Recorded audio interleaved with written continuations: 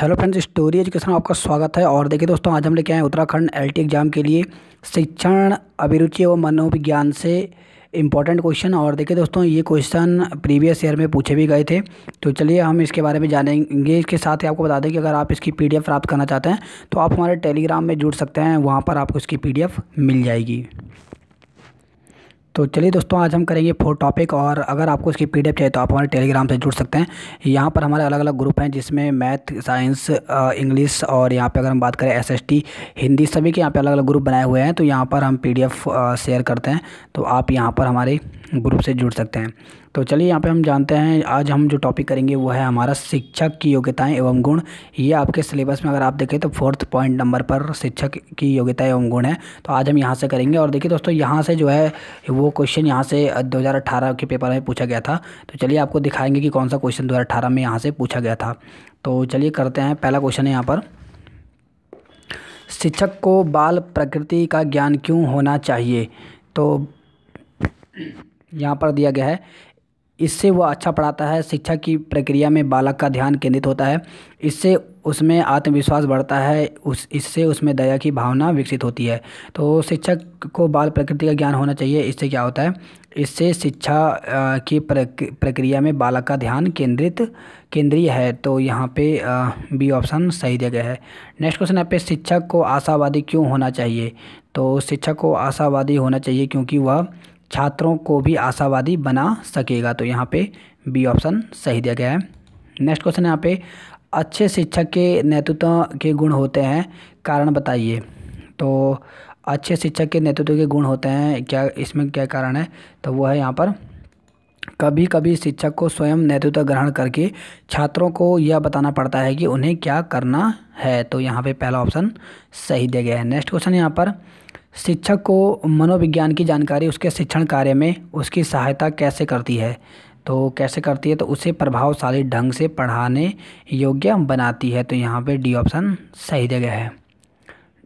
आगे बढ़ते हैं हम नेक्स्ट क्वेश्चन की ओर। नेक्स्ट यहाँ पे, अध्यापक होने के नाते यदि आप किसी विद्यार्थी की बुरी आदत को सुधारना चाहते हैं तो क्रियात्मक योजना बनाते समय आप अधिगम के किस सिद्धांत को ध्यान में रखेंगे? तो यहाँ पे दिया गया अंतर्दृष्टि सिद्धांत, प्रयास एवं त्रुटि सिद्धांत, क्षेत्रीय सिद्धांत या शास्त्रीय अनुबंध सिद्धांत तो किसको ध्यान में रखेंगे तो वह है यहाँ पे शास्त्रीय अनुबंध सिद्धांत को। और देखिए दोस्तों, यही क्वेश्चन है जो 2018 में पूछा गया था। तो चलिए आपको हम दिखा भी देते हैं कि 2018 में ये कौन से क्वेश्चन नंबर पर ये पूछा गया था। तो देखिए दोस्तों, ये हमारे पास 2018 का पेपर है, अगर आप देखें तो डी सेक्शन अगर आपके पास भी है तो क्वेश्चन नंबर अगर हम बात करें, यहाँ पर हम क्वेश्चन नंबर देखते हैं। तो देखिए क्वेश्चन नंबर जो बारह है, यही क्वेश्चन जो था, ये पूछा गया था। तो आप देख सकते हैं क्वेश्चन नंबर बारह भी यही सेम है जो कि 2018 में पूछा गया था। अध्यापक होने के नाते यदि आप विद्यार्थी की बुरी आदत को सुधारना चाहते हैं तो क्रियात्मक योजना बनाते समय आप अधिगम के किस सिद्धांत को ध्यान में रखेंगे?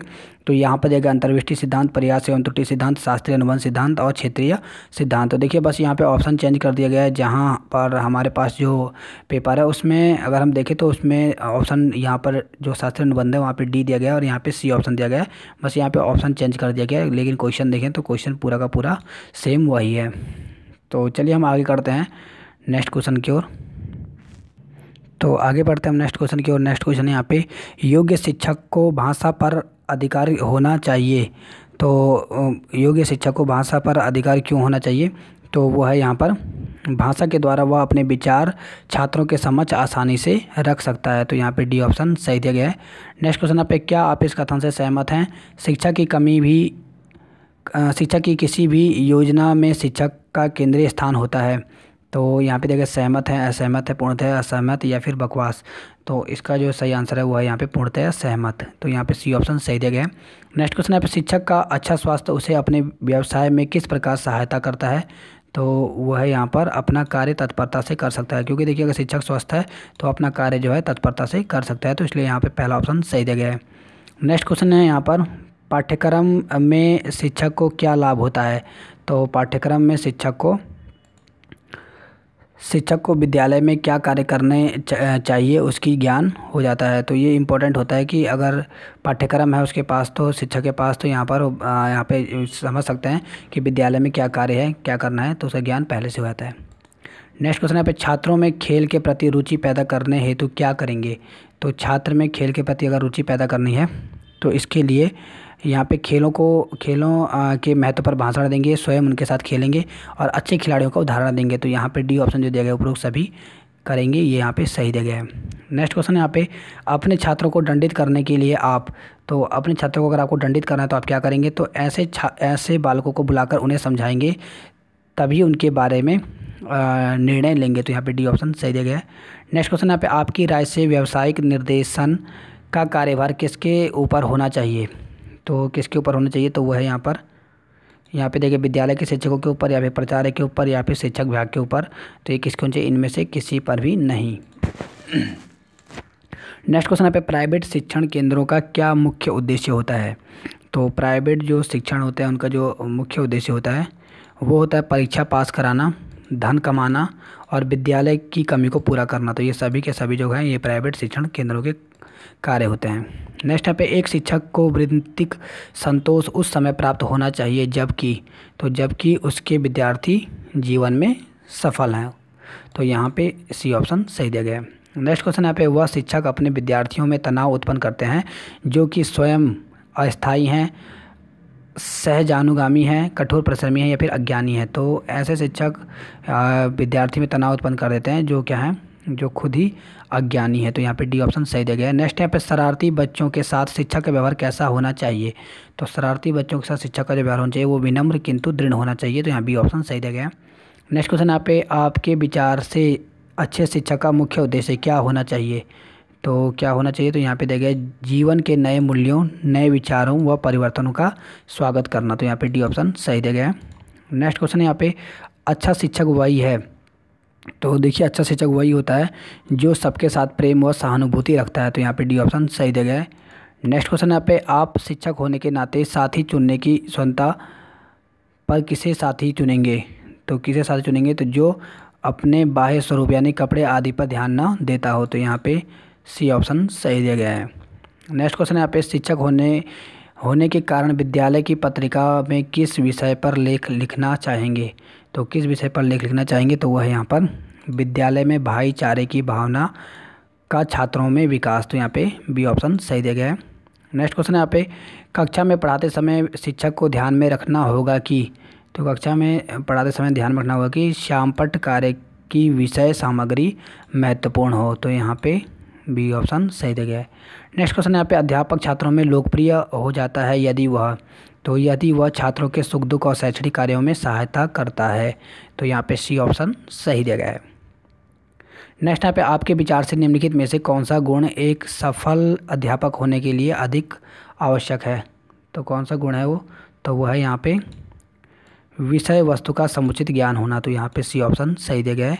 नेक्स्ट यहाँ पे विद्यार्थी अध्यापक का सर्वाधिक आदर करेंगे यदि। तो विद्यार्थी अध्यापक का सर्वाधिक आदर करेंगे यदि वह अपने कार्य के प्रति निष्ठावान है। तो यहाँ पे ए ऑप्शन सही दिया गया है। आप अध्यापक बनना चाह चाहते हैं तो आप अध्यापक बन जाते हैं क्योंकि आप समाज को आदर्श एवं जी, स्वस्थ जीवन प्रदान करने के लिए। तो यहाँ पे डी ऑप्शन सही दिया गया है। नेक्स्ट क्वेश्चन यहाँ पे अध्यापक समाज का आदर्श पुरुष माना जाता है तो उसकी प्रवृत्ति कैसी होगी? तो उसकी प्रवृत्ति कैसी होगी? तो वह है यहाँ पे त्यागमयी। तो यहाँ पे सी ऑप्शन सही दिया गया है। नेक्स्ट क्वेश्चन यहाँ पे, शिक्षक बहुधा अपनी कक्षा का सामना नहीं कर पाते क्योंकि? तो बहुत सा शिक्षक होते हैं जो अपनी शिक्षा का सामना नहीं कर पाते क्योंकि उनमें आत्मविश्वास की कमी रहती है। तो सी ऑप्शन यहाँ पे सही दिया गया है। नेक्स्ट यहाँ पे वह शिक्षक सबसे कुशल माना जाता है जो? तो वह शिक्षक सबसे कुशल माना जाता है जो विद्यार्थी में पहले, जो विद्यार्थी में पहल करने की क्षमता का को विकसित कर सके। तो यहाँ पे बी ऑप्शन सही दिया गया है। उस शिक्षक को सबसे पहले उस शिक्षक को सबसे सफल समझना चाहिए जो कि तो जो कि विद्यार्थी को प्रेरित कर सके। तो यहाँ पे डी ऑप्शन सही दिया गया है। नेक्स्ट यहाँ पे कक्षा शिक्षण की व्यवस्था निर्भर करती है। तो वह है यहाँ पे शिक्षक को व्यावसायिक निपुणता पर। तो यहाँ पे बी ऑप्शन सही दिया गया है। नेक्स्ट यहाँ पे शिक्षक तभी अपने छात्रों को प्रभावित कर सकता है जबकि तो जबकि वह पढ़ाते समय मनोवैज्ञानिक शिक्षा के सिद्धांतों पर चले तो यहाँ बी ऑप्शन सही दिया गया है। नेक्स्ट यहाँ पे अपने आपने शिक्षण व्यवसाय इसलिए अपनाया क्योंकि इसमें तो क्योंकि इसमें आपको पढ़ाने में, पढ़ाने के बहुत अधिक अवसर मिलते हैं तो यहाँ पे सी ऑप्शन सही दिया गया है नेक्स्ट क्वेश्चन यहाँ पे शिक्षकों को तो यहाँ पे देखिए वेशभूषा आदि बाह्य कारकों पर ध्यान नहीं देना चाहिए तो यहाँ पे बी ऑप्शन सही दिया गया है। नेक्स्ट क्वेश्चन यहाँ पे कक्षा में आपकी दृष्टि में सर्वाधिक महत्वपूर्ण है। तो सबसे महत्वपूर्ण क्या है? तो वह है नवीन शिक्षण विधियाँ। तो डी ऑप्शन सही दिया गया है। नेक्स्ट क्वेश्चन यहाँ पे विद्यालय में किस वर्ग के लोगों की तस्वीर टांगना पसंद करेंगे? तो यहाँ पे दिया गया है तो वह है यहाँ पे गांधी एवं महात्मा बुद्ध वर्ग की। तो यहाँ पे सी ऑप्शन सही दिया गया है। नेक्स्ट क्वेश्चन है, यहाँ पर शिक्षक किस प्रकार के छात्रों से खुश रहते हैं? तो जो एकाग्रचित होकर अध्ययन करते हैं तो यहाँ पे बी ऑप्शन सही दिया गया है। नेक्स्ट यहाँ पे परीक्षा की कापियाँ जांचने, जांचते समय शिक्षक को तो शिक्षक को उनके लिखित पृष्ठों की संख्या पर ध्यान में, ध्यान को नहीं देना चाहिए। तो यहाँ पे सी ऑप्शन सही दिया गया है नेक्स्ट क्वेश्चन यहाँ पे आपके विचार से शिक्षकों का सर्वाधिक महत्वपूर्ण गुण है। तो सबसे महत्वपूर्ण गुण कौन सा है? तो वो है यहाँ पे निष्पक्ष होकर निर्णय लेना। तो यहाँ पे डी ऑप्शन सही दिया गया है। नेक्स्ट है पे ऐसे लोगों को शिक्षण में ध्यान नहीं देना चाहिए जो तो ऐसे को ध्यान में नहीं देना चाहिए जो हमेशा आतों ढंगों और समय के लिए परेशान रहते हैं। तो यहाँ पे ए ऑप्शन सही दिया गया है। नेक्स्ट यहाँ पे आजकल समाज शिक्षकों को अच्छी नज़र से नहीं देखता। इसका क्या कारण है? तो यहाँ पे देखिए, अधिक ट्यूशन करते हैं, अपना कार्य लगन से नहीं करते। राजनीति राजनीति में सक्रिय भाग लेते हैं, उपरोक्त सभी कारण तो उपरोक्त सभी कारण जो है वो यहाँ पे सही दिया गया है। तो देखिए दोस्तों, इसके आगे भी यहाँ पर हम फोर्टी क्वेश्चन और आगे करेंगे। अभी हम इस पार्ट में यहाँ फोर्टी तक कर रहे हैं, क्योंकि सभी क्वेश्चन इंपॉर्टेंट है, कहीं से भी एग्ज़ाम में पूछा जा सकता है। तो आप इसमें जो शिक्षण अभिरुचि है इसमें आपको अधिक से अधिक प्रैक्टिस करने की ज़रूरत है। अगर आप जितना प्रैक्टिस करेंगे उतना आपका यहाँ पर जो मनोविज्ञान है और जो शिक्षण अभिरुचि है ये आपका आ, सही होगा और आपके तब आंसर गलत नहीं होंगे। तो इसमें इसमें जो है प्रैक्टिस की आवश्यकता पड़ती है। तो जितना ज़्यादा हो सके आप इसके लिए प्रैक्टिस करते रहें।